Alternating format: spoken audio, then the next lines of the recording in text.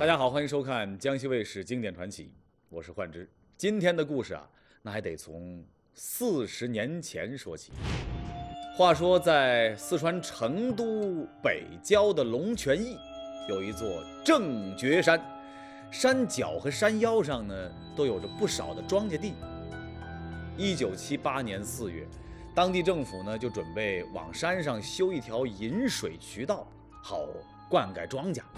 而就在施工人员挖土方的时候，只听得轰的一声响，这个地面突然塌下去了一大块，地底下露出来一个黑漆漆的洞口。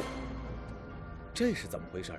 几个工人师傅壮起胆子下到洞里一看，我的个乖乖，地底下居然藏着一座雕梁画栋的宫殿。很快，考古人员也闻讯赶到了现场。专家很快就确定了，这座红墙绿瓦的地下宫殿其实是一座古代墓葬的地宫，而且墓葬的等级是相当的不低。古代来讲呢，这个成都东郊这个正觉山是成都东郊呃比较高的山峰了。呃，之所以选在这个地方，主要是呃前面还有一个青龙湖，它叫依山傍依山傍水。我们古人这个选址有一种说法，就叫。呃，藏风借水，呃，聚气凝神，所以对他的这个陵墓这种风水啊，这种开阔地啊，或者这种视野呢，是相当好的。众所周知啊，中国古代达官贵人的陵墓所在地，那都是经过精心挑选的。按照堪舆术的理论，正觉山所处的这个位置呢，背山面水，那正是绝佳的风水宝地。能够占到这块地给自己修墓的，那不是一般人。那么这座大墓的主人会是谁？这只有通过考古发掘才能找到答案了。然后以后的事情嘛，就是上报我们主管部门，然后申请发掘，抢救性发掘。抢救性发掘的申请很快就得到了国家文物局的批准。做好充分的准备之后，考古人员打开了地宫的第一道石门，而石门刚一打开，就出现了。让人意想不到的情形，什么情况？只见门背后的地上赫然躺着一个骷髅和几根断骨，白花花的一片，很是瘆人。各种各样的尸骸，考古专家们那是见得多了，没什么可怕的。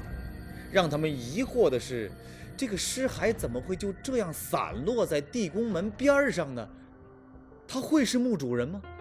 当然，想确定这一点，就得先找到地宫最重要的部位——安放墓主人棺椁的椁室。前面说了，还没有打开地宫之前，专家就确定这是一座高等级的大墓，墓主人是非富即贵。但看清了地宫里的情形之后，他们觉得墓主人的身份地位，恐怕还会超出之前的估计。第一，整个地宫的面积足有上百平方米，而且地宫里的建筑呈三进三重殿的四合院布局，做工是极其的精美，令人是叹为观止。第二，地宫所有的墙壁和地面都是用巨大的石头砌成的，很多石头体积超过四五个立方米，重达二十多吨呢，而正觉山上。并不出产这样的石头，所以他们只能是从别的地方运过来的。想运输这样的巨石，搁到今天都不是一件容易的事儿。可想而知，当年修建这座墓得耗费多大的人力物力。第三，在地宫的外室，考古队发现了第一批陪葬品，什么呢？四百多个陶俑，这些陶俑造型以人物为主，另外还有一些动物。不管是人还是动物，个个都栩栩如生，一看就知道是能工巧匠精心烧制的。陶俑人物呢，有男有女，有文官有武将，还有舞女乐师。可能还有观众记得啊，在从前的节目里边，咱们说过，在中国古代的墓葬制度里边，陪葬的陶俑也不是谁想用就能用的，想做成什么样你就能做成什么样的。比如说咱们最熟悉的兵马俑，那只有皇帝。啊，或者地位高贵到跟皇帝差不多的人，才可以用兵马俑来陪葬，而这个文官武将俑，那也绝不是普通富贵人家能够可以用得了的陪葬品。没有相当的身份，那是绝对不可能让文官武将俑给自己陪葬的，不然就叫僭越，那可是要抄家灭族的。除了陶俑，在地宫的外室还摆放着一些小件的瓷器，数量虽然不多，但是件件都属于珍品。接下来的发掘工作，那就更加令人期待了。清理完外室的陪葬品之后，考古队打开又一道厚厚的木门，进入了摆放墓主人棺木的椁室。只见椁室的正中央有一座用青石雕成的椁床，让人惊讶的是，椁床上雕刻的图案居然是龙和凤。谁都知道，按照中国古代的礼法制度，有资格用龙凤图案来装饰坟墓的，即便不是皇帝和诸侯，那至少也应该是皇室成员。这也就意味着，正觉山上的这座大墓很有可能是一处皇家墓葬。可惜的是，椁床上的棺材已经腐烂得不成样子，完全看不出当年的气派。还有啊，这个椁室本来该是陪葬品最多的地方吧，现如今却空空荡荡，什么东西都没有。更奇怪的是，在腐朽的棺材里边，考古人员清理出一具完整的尸骨，它应该是墓主人无疑了。那么，地宫门口的那具骨骸是什么人呢？正觉山上惊现豪华地宫。墓主人究竟是谁？墓主之外的神秘尸骨又会是何方神圣？经典传奇正在为您解密。上节说到，考古人员在成都西郊的正觉山上发现了一座古代的豪华大墓，墓主人身份是非同寻常啊！而且呢，在地宫的外室和椁室，人们还分别发现了两具尸骨。一座墓里边埋着两个人，一个躺在棺材里，另外一个躺在地上，这会是怎么回事？一时半会儿，大家呢也想不出答案。那算了，还是集中力量先搞清楚这个墓主人的身份吧。接下来的几天，考古队找遍了地宫的角落，终于在椁床的底下，他们挖出了最想看到的东西——墓志铭。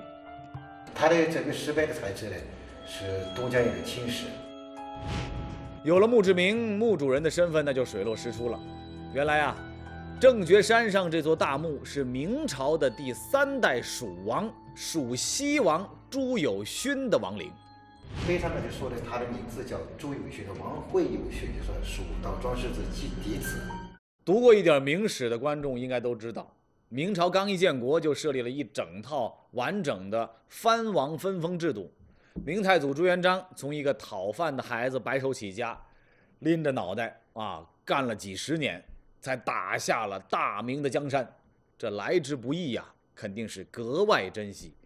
加上朱元璋生性多疑，全国那么大地方，除了自己家的人，交给谁管他都不放心。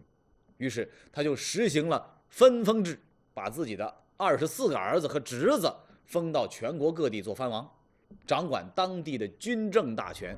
其中被封到四川成都的，那就是他的第十一个儿子蜀献王朱春。而墓主人朱友勋呢，那就是朱春的孙子，第三代蜀王，死后的谥号是西王。在有关明朝的各种史料上呢，对于朱友勋的记载不算很多。只是说此人呢，生于公元一四零九年，在宣德七年继承了蜀王位，是一个口碑挺不错的王爷。所以他这个人呢，他是在在位期间呢，大约有呃十四年。他在十四年期间呢，他是做了不少贡献。你比如说，他也是就相当于他，他也他也像他祖父一样，呃，你比如说兴水利啊，嗯，什么兴办教育啊，这一方面还是政绩比较突出。所以后来呢，所以当时草朝廷上面就说是蜀中多贤王。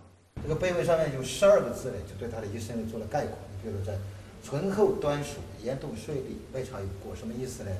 就说他的性格就是淳朴端庄，呃，一言一行可以作为表率，呃，没有犯过错误。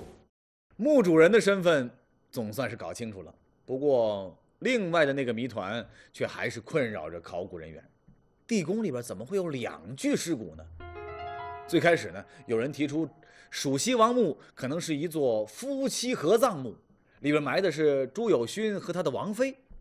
不过很快这个提法就被证实不可能。为什么呢？因为历朝历代的夫妻合葬墓，两口子那都是只葬在同一间墓室里边，那棺材还是各躺各的啊。而找遍了整个地宫。蜀西王墓里边就只有一口棺材，难道两口子感情好到死后也要躺一口棺材里吗？很显然不可能。对了，专家后来对两具尸骨还进行了性别鉴定，这两位啊都是成年男子，所以他们不可能是夫妻。那么还有什么别的可能性吗？一想到墓主人是明朝的王爷。有专家又提出了新的猜测：地宫外室躺的那具尸骨，很可能是殉人的尸骨。所谓殉人，那就是为主人殉葬的活人。殉葬制度啊，在以前咱们节目里边呢多次提到过，那是一种起源于奴隶社会的野蛮制度。奴隶主死了，要杀死一些奴隶和下人，到地底下继续去伺候死去的主人。不过，随着文明的进步，从秦朝开始，陶制和木制人俑开始逐渐的取代活人，殉人现象基本就消失了。不过，到了明代初期，这种血腥的制度又死灰复燃了。而开历史倒车的，就是明太祖朱元璋。朱元璋临死之前下了一道圣旨，把四十六位没有生育过的嫔妃和宫女活活勒死。埋进孝陵当了殉人。朱元璋开了这个坏头，他之后的好几位皇帝，什么永乐帝、宣德帝，甚至还有很多各地的藩王，那都是有样学样，让嫔妃宫女为自己殉葬。前面说了，蜀西王朱友勋是朱元璋的曾孙，继位于明宣宗宣德年间，也就是说他在位的时候呢，正是。明朝允许甚至流行殉葬制度的时期，那么他墓室里的另一具尸骨会不会是陪葬的殉人呢？这个猜测听上去可能性很大，可是专家们一查资料，再仔细一分析，还是得摇头。为什么呢？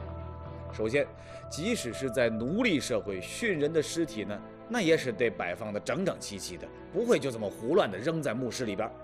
殉葬的话，他。比如他的尸，他的尸骨啊，他的摆放也好，他的陈列也好，他他是有序的，他不会像这样子随便，就这样随便的摆放。还有，按照明史里面的记载，明初给皇帝、藩王们殉葬的只有两种人：嫔妃和宫女。也就是说，帝王们只带女人去阴间，不要男的。而前面说了，性别鉴定表明，蜀西王地宫里的另一具尸骨也是个男人，所以他不可能是殉人。这个猜想也被推翻了。那么他究竟是什么人呢？在查找史料的时候，有专家在一本野史里边发现了有这么一段记载。这件事情说不定啊，跟地宫里的神秘尸骨有关系。什么事儿呢？明初著名的靖难之役，大家都应该知道，说的是朱元璋死之后，没有按照惯例把皇位传给儿子，而是传给了自己最喜欢的孙子朱允炆，也就是著名的建文帝。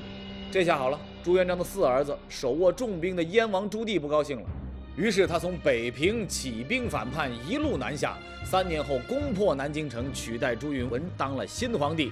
而南京城破的时候，建文帝却神秘的失踪了，生不见人，是死不见尸。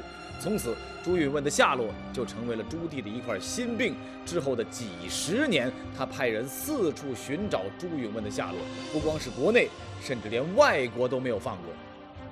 那么这件事儿跟蜀西王地宫里的尸骨又有什么关系呢？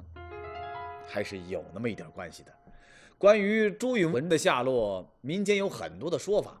有人说出家为僧啊，有的说呢流落海外，还有人说隐居深山的。在四川当地的一本野史里边，专家还看到这么一种新的说法，说建文帝千里迢迢从南京逃到了四川，投奔了叔叔蜀献王朱春。朱春呢就把侄子藏在了王府里边。要说这个朱允文还挺能活，一直活到了楚王传到第三代，他才去世。那么该怎么处理他的后事呢？这个问题让当时的蜀王那是大伤脑筋，大操大办肯定是不行的啊！当朝皇帝那可是朱棣的子孙，要让朝廷知道了这个秘密，蜀王一脉还不得满门抄斩呢？那挖个坑悄悄埋了，好像也不妥。再怎么说，建文帝那也是正经八百当过几年皇帝的，又是长辈，是朱元璋的嫡系子孙，你这么处理？以后自己死了，怎么有脸到地下给列祖列宗一个交代呢？思来想去，最后蜀王想了一个办法，把建文帝悄悄地埋进自己已经建好的陵墓，既让这位当过皇帝的叔叔享受死后的富贵，又不被别人知道，啊，也算是两全其美。野史里的这个说法听上去，我觉得挺有道理的。那他会不会就是真相呢？一番分析之后，专家说了不靠谱。即使真有这么回事儿，那蜀西王的地宫里边也应该有两口棺材才对呀，总不能把建文帝直接就撂在那儿吧，葬进自己的坟墓，啊，连口棺材都不给。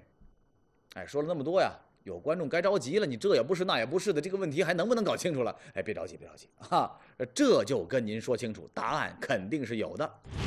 其实，在勘察地宫的时候呢，有专家就已经怀疑了：地宫规模这么大，建筑如此奢华，还有几百尊陪葬的陶俑，说明蜀西王不是低调节俭的王爷。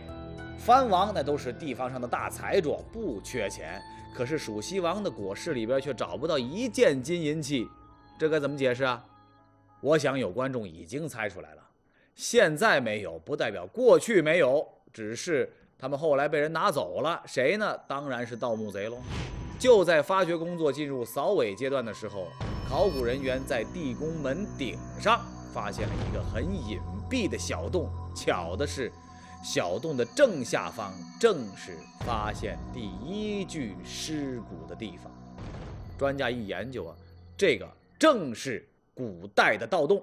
中间这个就是盗洞。哎，当时发现的时候呢，这个盗洞里。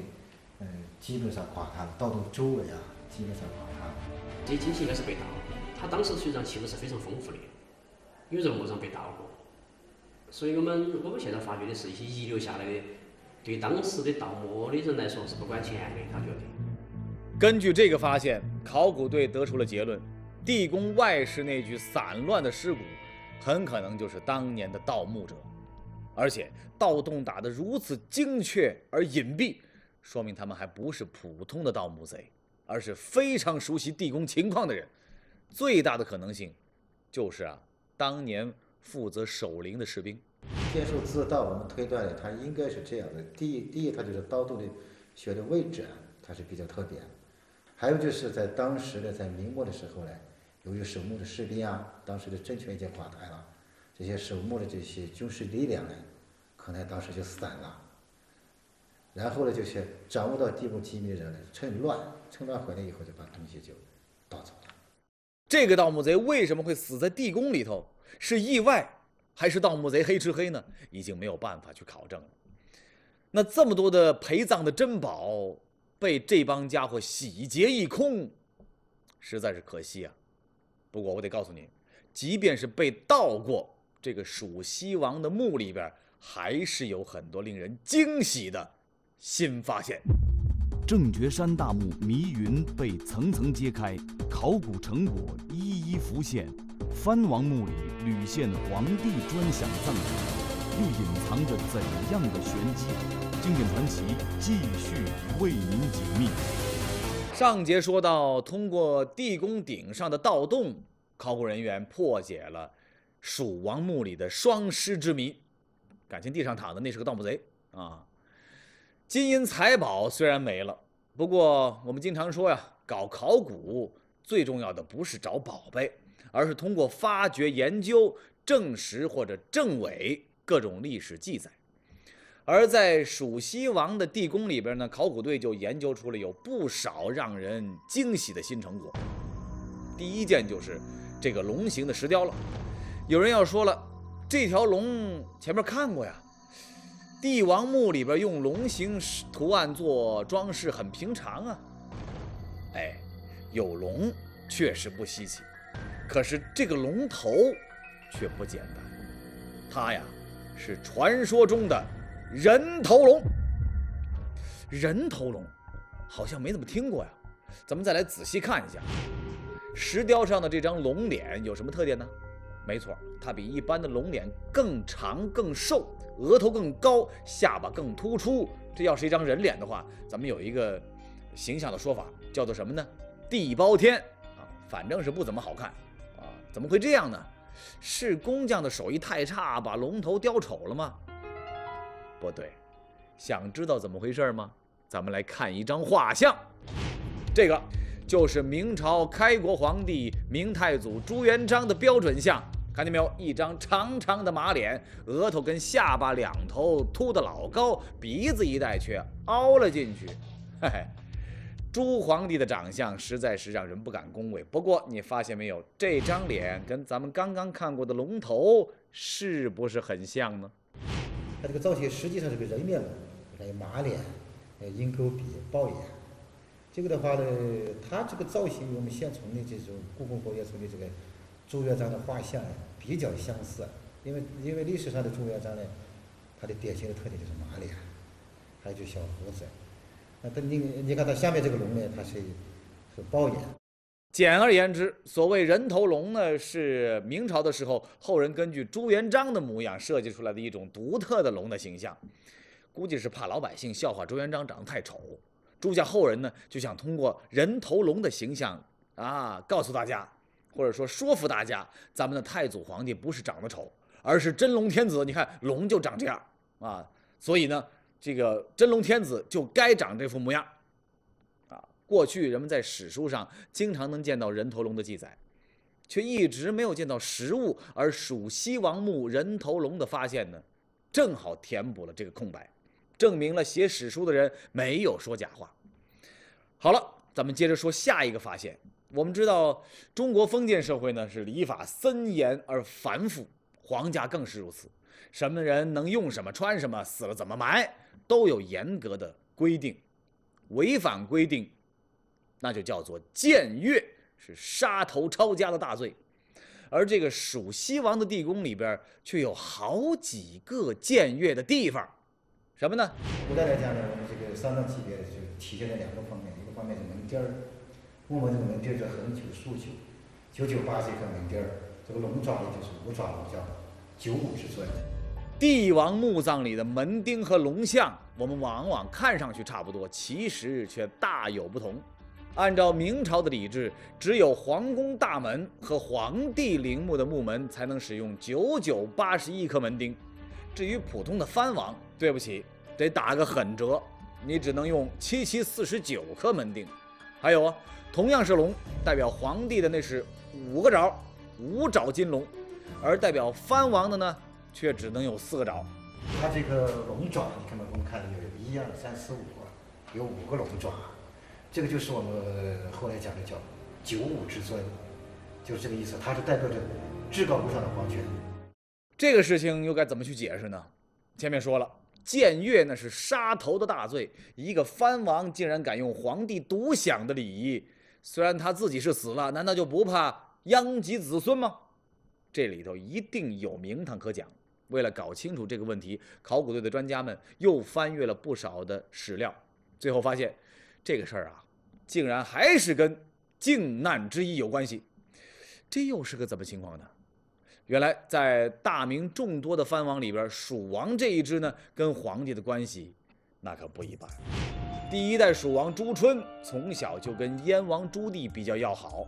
当年朱棣发动靖难之役，开始并不顺利，一度被政府军打的是狼狈不堪。各路藩王一看朱棣这小子，怕是要完呐！啊！我们得跟他划清界限啊，甚至帮助建文帝一起来打朱棣。唯有这个蜀王朱春，啊，够义气，不是跟朱棣关系好吗？那我就从精神到物质帮了朱棣不少的大忙。进来之役的时候呢，这个朱春当时是旗帜鲜明的，就是支持他的四哥朱棣来推翻他的这个侄子朱允炆。然后呢，他的四哥呢登上王位以后呢，就对他这个蜀这个蜀王这一支呢还是比较恩宠的。他觉得这个哀帝对他还是比较好，其他的兄弟姊妹都比较反对他，所以他上台以后呢，把其他的一些，你比如说这些其他的王，革的革或者流放的流放，杀的杀，但是对待成都这支蜀王呢，他觉得还是不错。朱春死后。朱棣特意下旨，以皇帝的礼仪规格厚葬这位关键时刻向着自己的铁哥们儿。连朱春之后的历代蜀王也跟着沾光啊，享受到了破格的特殊待遇。地宫里边有八十一颗门钉的木门，还有五爪金龙，这些全都是特殊待遇的体现。哦，对了，自从一九七八年蜀西王陵被发现之后，考古人员在正觉山上陆陆续续又发现了十多座。历代蜀王和王妃的墓葬，这些墓葬呢也大多气派非凡，于是就有了北有十三陵，南有明十陵的说法。以后有机会的话，咱们再去看看其他的那些王陵，说说他们的故事。好了，今天节目就是这些了。关注栏目官方公众号“江西卫”。